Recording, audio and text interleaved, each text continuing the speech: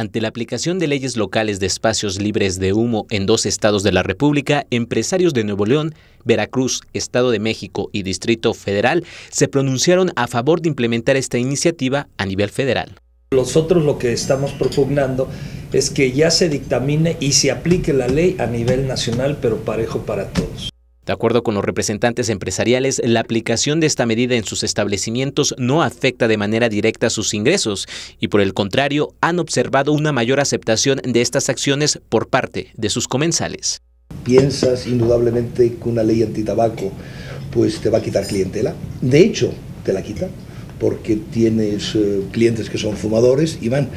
Pero en sentido contrario digo lo que también es cierto ganas clientes, ganas los clientes no fumadores. Sí, algunos se molestan, sí, algunos clientes se salen, algunos clientes se enojan y, se van a otro, y al rato regresan, la verdad es que al rato regresan. Eh, si los atiendes bien, les das buena comida, les das buen servicio, al rato van a regresar. Porque... En el Estado de México fue muy difícil implementar esta cultura, pero nosotros vemos que poco a poco y cada día son menos los que fuman, al menos en nuestros lugares, que los que quieren fumar.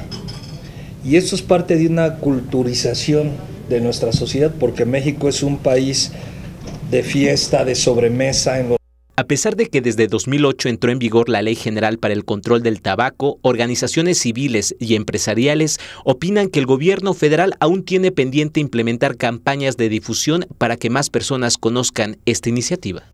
Es que sí falta mucha difusión en, en el sentido de explicarle a la gente eh, en qué consiste realmente la ley y, en, que una terraza no es un espacio libre de humo, porque mucha gente ve una terraza y dice, bueno, pero es que aquí ya, ya puedo fumar porque está la terraza. Hace unos años, en las propias películas, veíamos a Cantinflas, a Mauricio Garcés, a todos ellos fumando, era como un estatus, ¿no? Y ahora pues este, ya se ve mal y eso está ayudando. Vemos incoherente que el Senado quiera atrasar esto dos años, porque este, ya casi todos están los lugares públicos eh, sin, libres de humo de tabaco. ¿Por qué nada más en esta trinchera, que sería la última, los restaurantes, los bares y las discotecas tienen que aplazar dos años? Eh, nosotros estamos a favor de que de una vez todos y por igual. Tal parece que los legisladores o los senadores que quieren aplazar esta ley ven más el aspecto económico que el de la salud.